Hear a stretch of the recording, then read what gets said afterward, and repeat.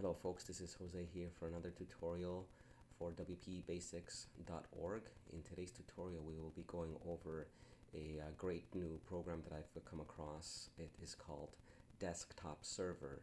What this program allows you to do is to quickly create a local installation of WordPress as it says here in just seconds. It's uh, cross-platform compatible so whether you're on Mac or Windows doesn't really matter and uh, it supports Dreamweaver if you if you use it, but that's for the premium version. And there's a whole bunch of other things here that you can read about on their homepage. What's mainly interesting is that you're able to cr create a local installation of a WordPress site very very quickly. So let's get started on how to do that. So we have to go to the serverpress.com website and I'll have a link at this on my website which is wpbasics.org we click on this download button that is right here on the top right hand corner and you'll be brought to this page there's a little video you can watch if you want then here's a huge description of uh, what uh, desktop server is all about and here below it you, hear, you see a comparison of the two, uh, the free version and the paid version.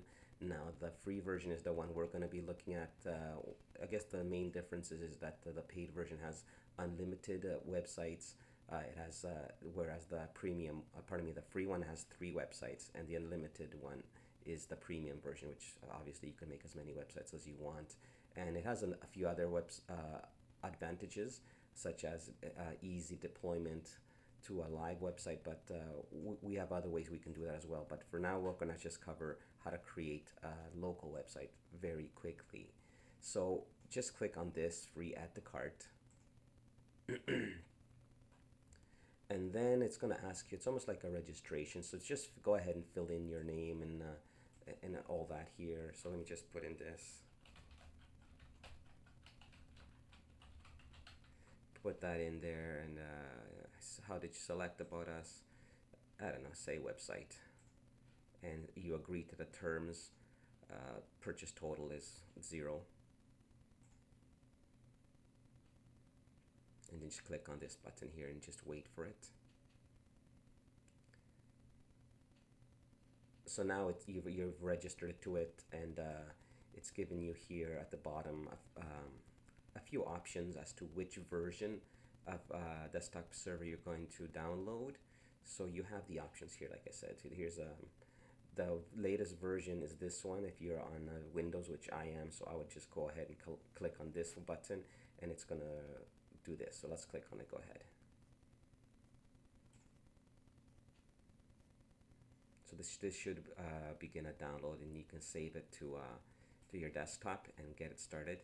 So I'm, I'm not going to save it again because I already have it saved. So let's just close out of here. And then we can close out of here. And I don't need this either. So basically what you're going to get is you're going to get a file, something like this one here.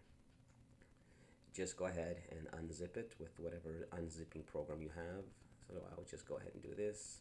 Unzip it, extract files here is what I'm going to do. I already have it downloaded, so I'm not going to do it again. So you go ahead and do it.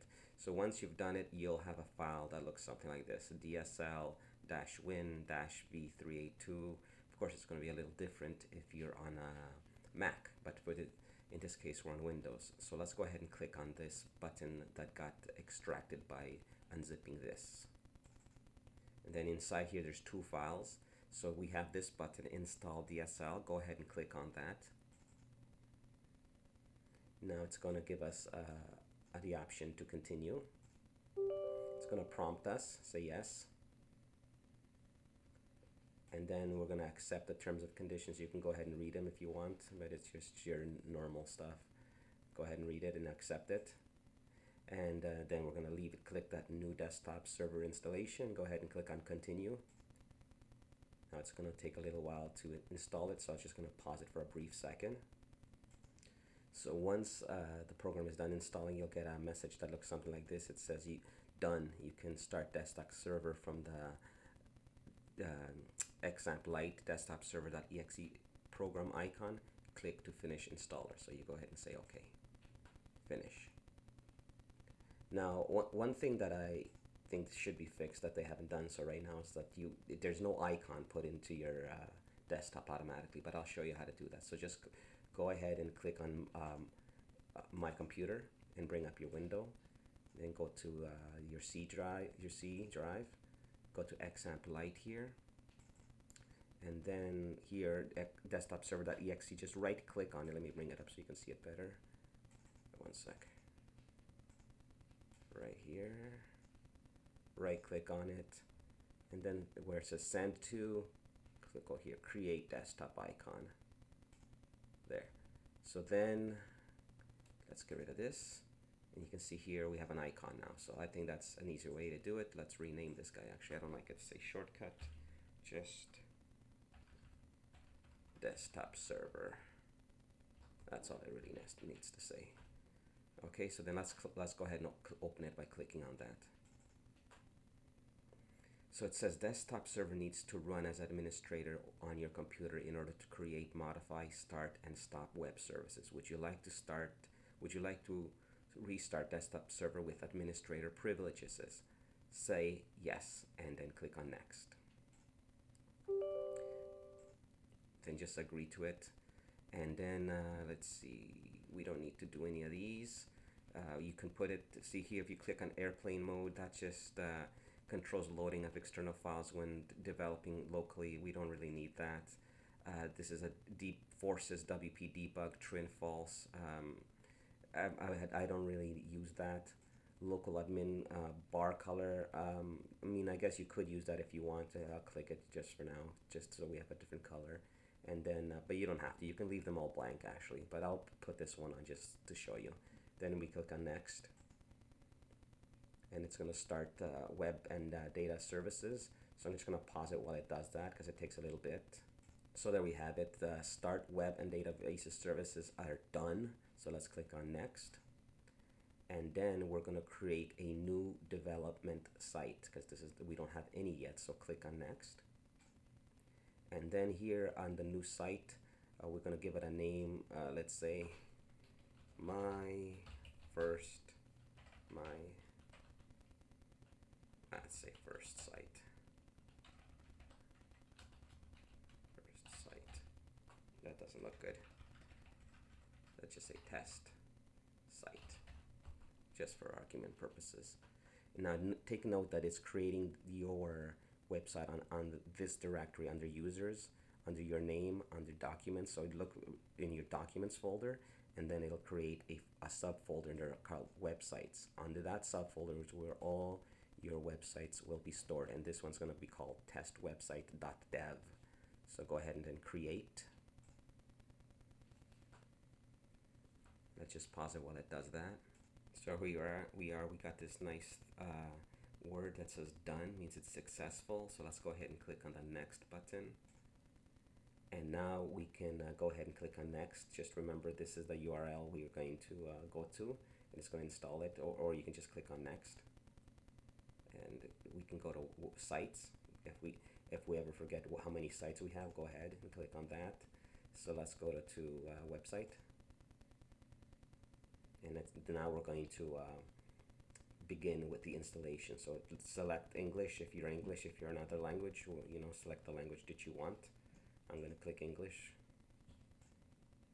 And then here it's just like a normal install except this is going being done through desktop server so just uh, so let's say my oops pardon me we don't know that that. Uh, my site. Uh, I'm gonna put root for username and root for password just because it's just a dev site and confirm it because it's a weak password.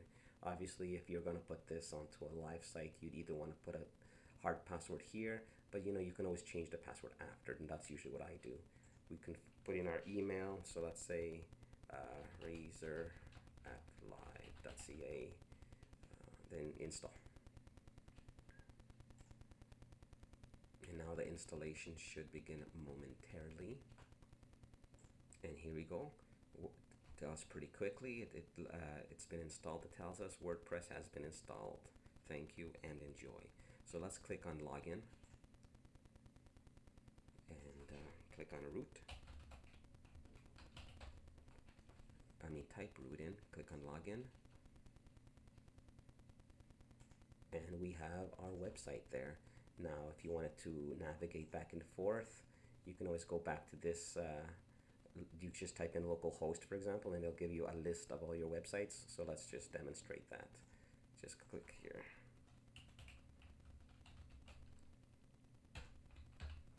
See, there it goes. So you can view website, go to your dashboard, and uh, this is the dashboard.